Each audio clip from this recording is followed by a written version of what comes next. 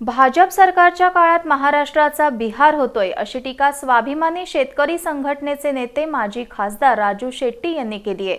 स्वाभिमानीचे उमेदवार देवेंद्र भुयार यांच्यावर झालेल्या प्राणघातक हल्ल्यानंतर प्रतिक्रिया देताना त्यांनी संताप व्यक्त करत सर्वसामान्यांनी निवडणुका लढवायच्या की नाही असा सवाल उपस्थित केला.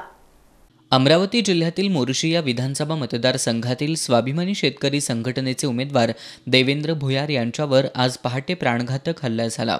अज्ञात हल्लेखोरांनी देवेंद्र भुयार यांच्यावर हल्ला करत त्यांची गाडी देखील पेटवून दिली. या घटनेनंतर स्वाभिमानी शेतकरी संघटनेचे नेते माजी खासदार राजू शेट्टी यांनी मात्र तीव्र भावना व्यक्त केल्या आहेत. कृषी मंत्री अनिल बोंडे यांच्या विरोधात स्वाभिमानी शेतकरी संघटनेचे उमेदवार भुयार निवडणूक लढवत आहेत ते एका सर्वसामान्य कुटुंबातील आहेत.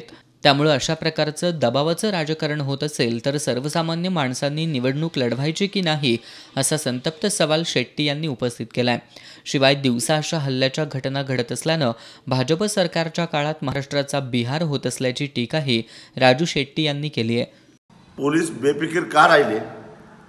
का महाराष्ट्राचा बिहार करायचा विचार पोलिसांचा आहे सरकारचा आहे का? या प्रश्नाचं उत्तर मिळालं पाहिजे. माझ्या सामान्य कार्यकर्त्यांनी निवडणूक लढवू नयेत का? माझ्या सामान्य शेतकऱ्यांच्या पोरांनी निवडणुकीमध्ये प्रचार करायचा नाही का?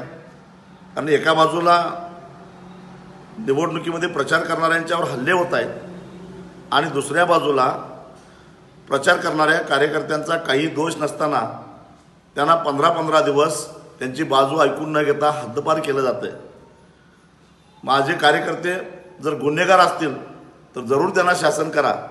परंतु सर्वसामान्य शेतकऱ्यांच्या पोरांना जर अशा पद्धतीनं त्रास होणार असेल तर महाराष्ट्राच्या जनतेनंच आणि विशेषतः शेतकऱ्यांनीच आम्ही इथून पुढं काम करावं का नाही हे ठरवावं एवढंच मला या ठिकाणी सांगायचं आहे.